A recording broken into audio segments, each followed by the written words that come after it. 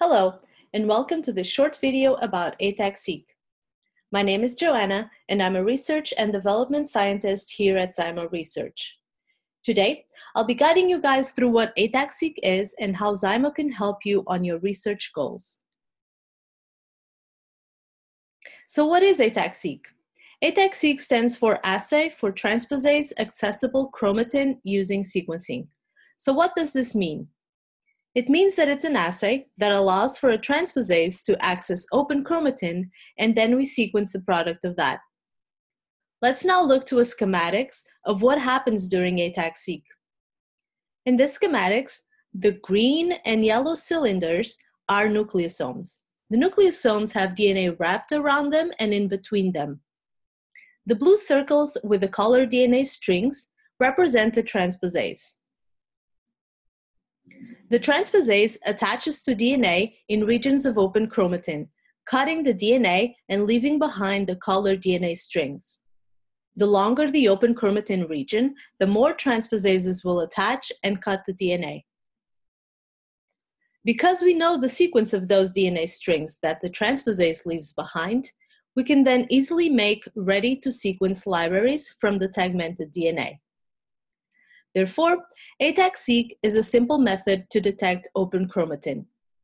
DNase-seq is another method able to detect open chromatin. However, ATAC-seq requires less material and less time when compared to DNase-seq. Typically, the end goal for researchers that perform ATAC-seq is actually to determine whether there are changes in chromatin accessibility between control and treatment group or at different time points during a treatment. However, in most cells, the mitochondrial DNA abundance is much higher than the nuclear DNA abundance. Also, because all mitochondrial DNA is open and not wrapped in nucleosomes, the transposase has an easier access to the mitochondrial DNA. Therefore, it cuts it more efficiently, which then results in libraries rich in mitochondrial DNA fragments.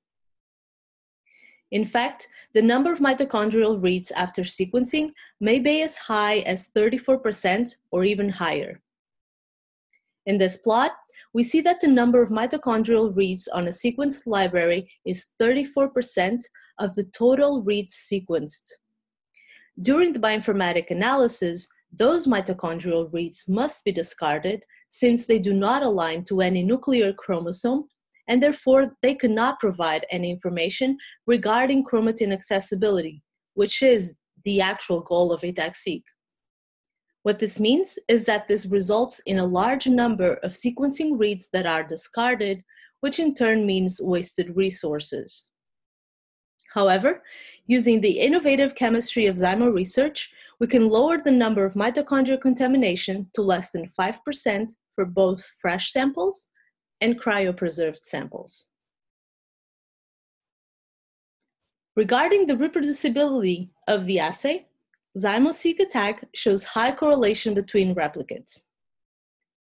To determine correlation, we can look at the reads between replicate A and B.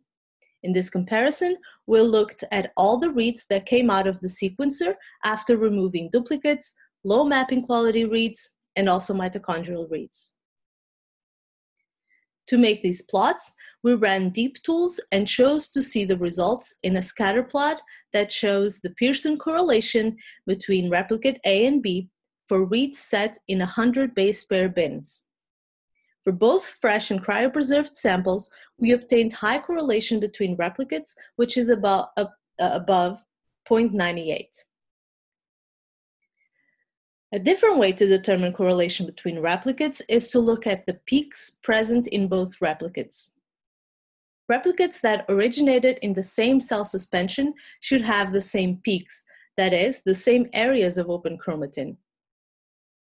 To perform this analysis, we took two lists. One list with the genomic coordinates for peaks called for replicate A, and a second list with the genomic coordinates for the peaks called for the replicate B. And then we compared both lists. We then counted how many of the genomic coordinates are present in both lists. To do so, we used BEDTools Intersect and counted over 92,000 peaks common between replicates. Then we decided to look at how the data generated with the Zymo-Seq ATAC compares with DNase-seq data. DNase-seq and code data is available online and represents well-established regions of open chromatin. We first uploaded bigwig files from Zymo-Seq ATAC and encode DNase-seq data on the IGV website so that we could compare peaks, and then we chose a randomly selected region of the human genome and looked at the peaks. In the top plane, with green peaks, we can see the data obtained in-house with the Zymo-Seq ATAC. And then in the bottom, in the yellow peaks, we can see the ENCODE DNase-seq data. As we can see in this figure, there is a, completely, a complete agreement in the peaks shown for both assays, which further validates the results obtained using ATAC-seq. In summary, Zymo-Seq ATAC provides low mitochondrial contamination, high correlation between replicates, and excellent quality libraries. Additionally, Zymo-Seq ATAC is only one of the products in the complete platform of epigenetic-related products available at Zymo Research. It's not by chance that we are called the Epigenetics Company. Our epigenetics team is here to listen and help you with your research needs. So if you have any questions about ATAC-seq or any other epigenetic assay, please do not hesitate to contact us through the email address info at zymoresearch.com. Thank you for watching. Also, if you like this video, subscribe to the Zymo Research channel and get more exclusive content.